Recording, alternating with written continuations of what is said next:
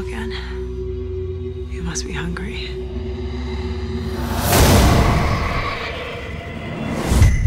Tim is a healthy adult who represents no danger to himself or anyone else. And I believe he should be discharged. Hey, little brother.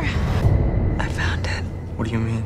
We only have a few days. A few days for what? To keep our promise and kill it. My name is Kaylie Ann Russell. The purpose of today's experiment is to prove that the object behind me is responsible for at least 45 deaths in the four centuries of its recorded existence. We got a new home, so we get new furniture.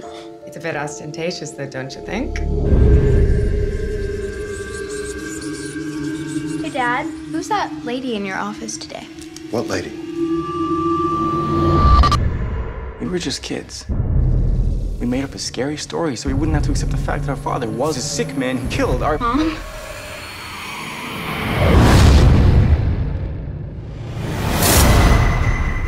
Why don't we just end it right now and smash the damn thing?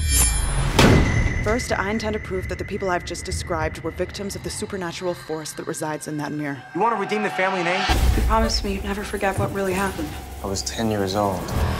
Daddy? Tim? Tim. Snap out of it!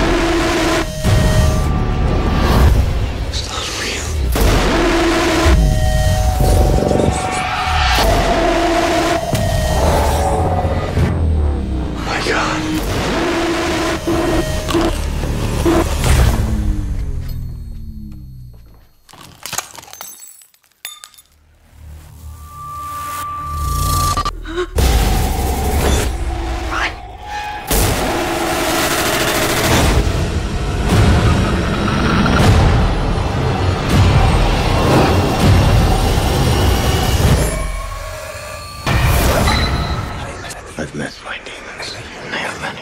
I've seen. I've seen the devil. He is. He is me.